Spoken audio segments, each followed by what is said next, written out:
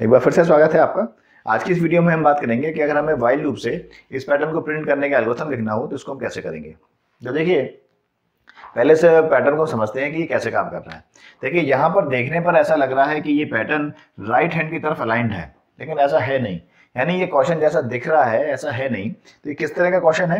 Question है ये कुछ इस तरह का।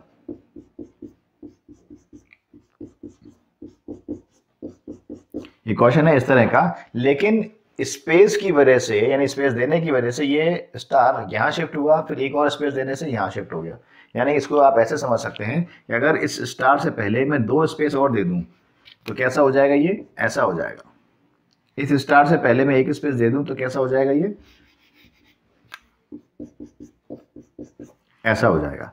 तो यही चीज़ हमें प्रिंट करनी है। यानी इनविजिबल स्पेस स्पेस वैसे कोई करेक्टर नहीं होता तो यहाँ पर आप ये देख रहे हैं कि ये स्पेस दिए हुए हैं। एक स्पेस ये वाले तीन मैंने अलग से ऐड कर दी हैं ताकि आपको समझने में आसानी हो जाए। आप उसका जो लूप है वो आराम से बना पाए। तो ये है क्या? देखिए, यहाँ पर ये तीन रो हमें दिखाई दे रही हैं। ये देखिए।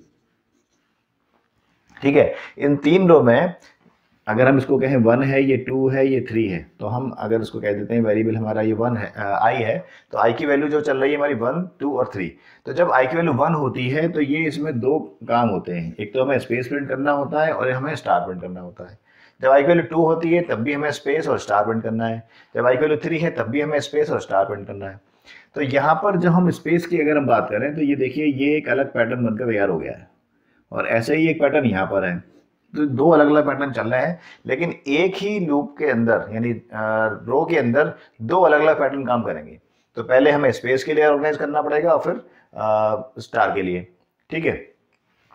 अब क्योंकि हमें ये वाइल लूप से करना है तो हम इसको स्टार्ट करते हैं एल्गोथम को।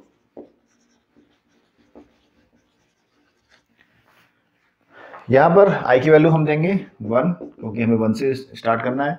While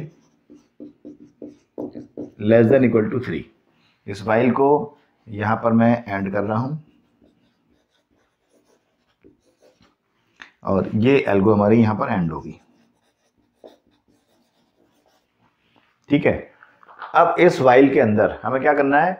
एक वाइल और चलाना है यहाँ स्पेस के लिए। तो ये देखिए आई जब वन होता है, जब टू होता है, जब थ्री होता है तो जे स्पेस के लिए कितना है? थ्री है, ये टू है और ये वन है। तो देखिए, इसके लिए लूप कैसे चलाएँगे? जे इक्वल टू हमें कितनी बार चलाना है? थ्री टाइम चलाना है। और आई की वैल्यू कितनी है? वन तो अगर हम थ्री से लेकर,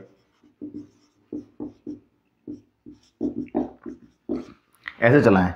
थ्री से लेकर आई तक। और आई की वैल्यू कितनी है? वन तो थ्री से लेकर वन तक थ्री टू वन तीन बार चल जाएगा। जब आई की वैल्यू टू होगी तो थ्री से लेकर टू तक थ्री और टू दो बार चल जाएगा। जब आई की वैल्यू थ्री होगी तो थ्री से लेकर थ्री तक, एक बार चल जाएगा। तो ये लूप हमारा यहाँ पर एंड होगा। अब इस लूप के अंदर हमें प्रिंट क्या करना है? हमें स्पेस प्रिंट करना है। यहाँ पर तो मैंने अंडरस्कोर की तरह से आपको दिखा दिया है, पर अंडरस्कोर तो स्पेस होता नहीं अंडरस्कोर अंडरस्कोर है स्पेस स्पेस है। तो यहाँ पर हम प्रिंट करेंगे स्पेस ठीक है?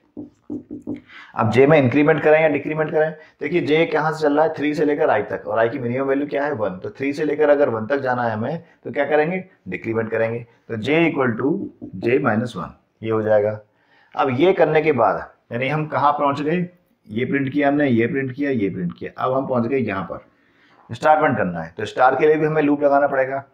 अब लूप कैसे लगाएँ? देखिए, जब आई की वैल्यू वन है तो जे कितना है? यानी कॉलम कितने हैं? वन जब आई की टू है तो स्टार कितने हैं? कॉलम कितने हैं? टू जब आई की थ्री है तो स्टार कितने हैं? कॉलम कितने हैं? थ्री ये जे के इक्वल चल रहा है।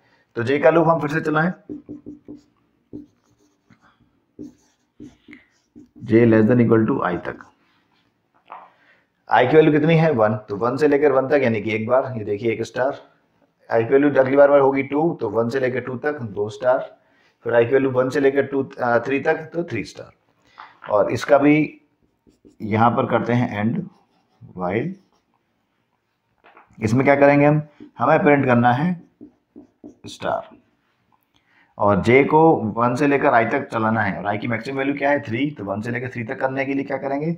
J equal to j plus one अब स्पेस प्रिंट हो गया स्टार प्रिंट हो गया, उसके बाद में हमें क्या करना है? लाइन भी चेंज करनी है। तो इसके बाद में हम यहाँ पर लिख देंगे print slash n line change हो जाएगी।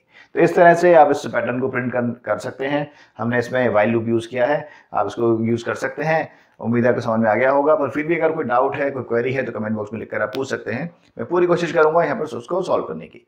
और यहाँ पर आपसे छोटी सी रिक्वेस्ट करता हूँ मैं। अगर आप इस वीडियो को यूट्यूब चैनल पर देख रहे हैं तो चैनल को सब्सक्राइब ज़रूर कीजिए। और अगर आप इस वीडियो को फेसबुक पेज पर देख रहे हैं तो पेज को फॉलो ज़रूर करिए। तो इस वीडियो को देखने के लिए लाइक करने के लिए शेयर करने के लिए आपका बहुत बहुत धन्यवाद।